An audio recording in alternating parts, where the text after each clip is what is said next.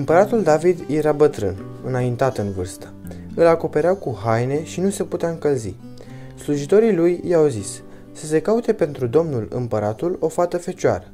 Ea să stea înaintea împăratului, să-l îngrijească și să se culce la sânul tău și domnul meu împăratul se va încălzi.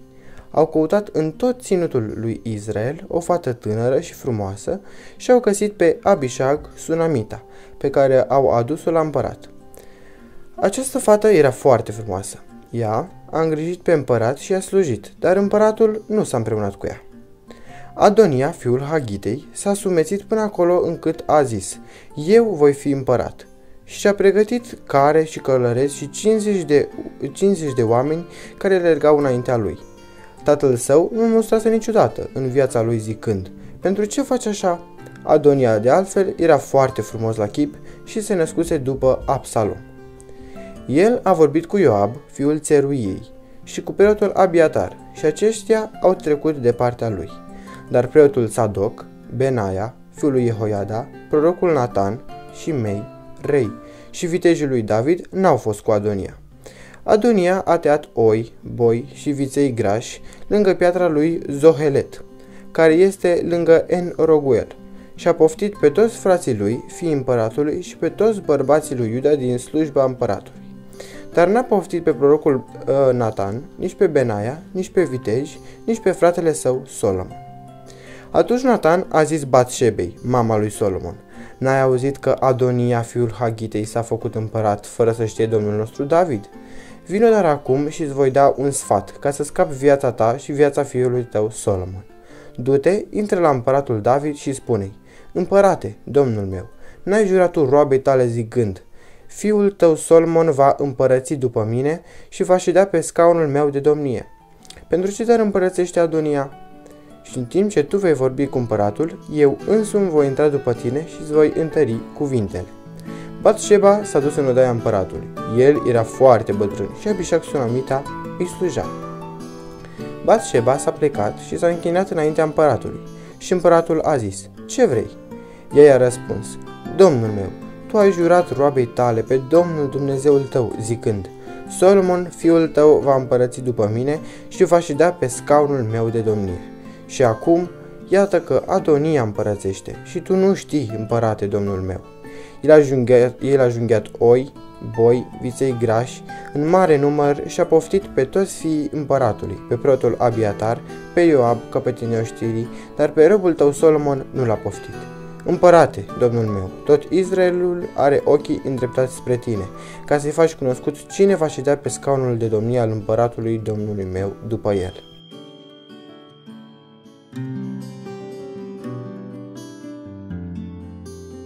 Și când împăratul domnul meu va fi culcat împreună cu părinții săi, se va întâmpla că eu și fiul meu Solomon vom fi priviți ca niște vinovați.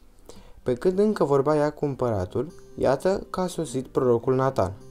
Au dat de știre împăratului și au zis, Iată că a venit prorocul Natan. El a intrat înaintea împăratului și s-a închinat înaintea împăratului cu fața până la pământ. Și Natan a zis, Împărate, domnul meu, oare tu ai zis, Adonia va împărăți după mine și va ședea pe scaunul meu de domnie?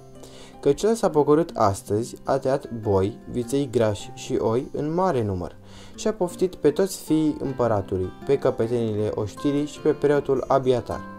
Și ei mănâncă și beau înaintea lui și zic, trăiască împăratul Adonia.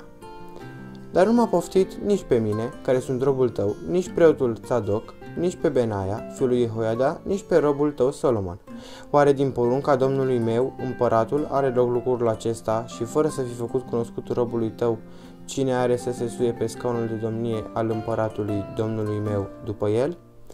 Împăratul David a răspuns, chemați-mi pe Batsheba. Ea a intrat și s-a înfățișat înaintea împăratului. Și împăratul a jurat și a zis, Viu este Domnul, care m-a izbăvit din toate necazurile, ca așa cum am jurat pe Domnul Dumnezeul lui Israel zicând, Fiul tău Solomon va împărăți după mine și va ședea pe scaunul meu de domnie în locul meu, așa voi face azi. Batșeba s-a plecat cu fața la pământ și s-a închinat înaintea împăratului și a zis, Trească pe vecie Domnul meu împăratul, David.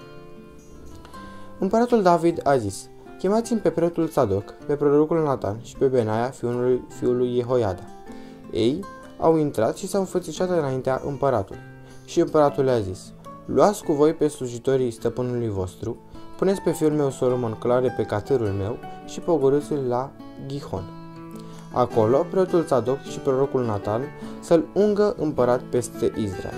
Să sunați din trâmbiță și să ziceți, trăiască împăratul Solomon. Să vă suiți apoi după el, ca să fie să se așeze pe scaunul meu de domnie și să împărățească în locul meu, căci porunca mea este ca el să fie căpetenia lui Israel și Iuda. Benaia, fiul lui Jehoiada, a răspuns împăratului, Amin, așa vrea Domnul, Dumnezeul Domnului meu împăratul. Domnul să fie cu Solomon cum a fost cu Domnul meu, ca și să-și înalțe scaunul de domnie, mai presus de scaunul de domnie al Domnului meu, împăratul David. Atunci preotul Tzadok s-a pogorât împreună cu prorocul Nathan, cu Benaia, fiul lui Jehoiada, cu Cheretiții și Peletiții, împăratul lui David, și l-au dus la Gihon. Preotul Tzadok a luat cornul cu un de lemn din cort și a uns pe Solomon. Au sunat din trâmbiță și tot poporul a zis, Trăiască împăratul Solomon! Tot poporul s-a suit după el și poporul cânta din fluier și se desfăta cu mare bucurie. Se clătinea pământul de strigătele lor.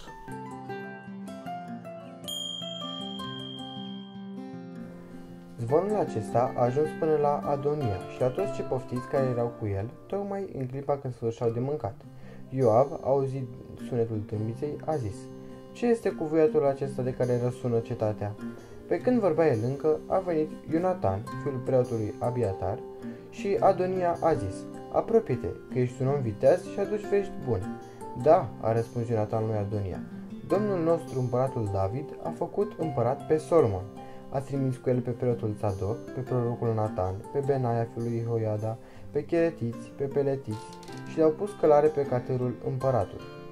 Preotul Tzadok și prorocul Natan l-au uns împărat la Gihon. De acolo s-a suit veselindu-se și cetatea a fost pusă în mișcare. Acesta este voietul pe care l-ați auzit. Solomon s-a și așezat pe scaunul de domnie al împăratului.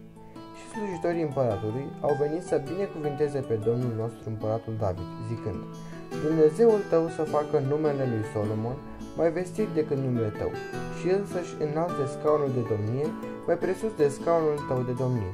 Și împăratul s-a închinat pe patul său. Iată ce a zis și împăratul. Binecuvântat să fie Domnul Dumnezeul lui Israel, care mi-a dat astăzi un urmaș pe scaunul meu de domnie și mi-a îngăduit să-l văd. Toți cei poftiți de Adonia s-au umplut de spaimă, s-au sculat și au plecat încotro. Adonia s-a temut de Solomon, s-a sculat și el, a plecat și s-a apucat de coarnele altarului. Au venit și au spus lui Solomon, iată că Adonia se teme de împăratul Solomon s-a apucat de coanele altarului, zicând, Să-mi jure împăratul Solomon azi că nu, va, că nu va omorâ pe robul său cu sabie. Solomon a zis, Dacă va fi om cinstit, un păr din cap nu va cădea la pământ, dar dacă se va găsi răutate în el, va muri. Și împăratul Solomon a trimis niște oameni care l-au pogorât de pe altar. El a venit și s-a închinat înaintea împăratului Solomon. Și Solomon i-a zis, du-te acasă.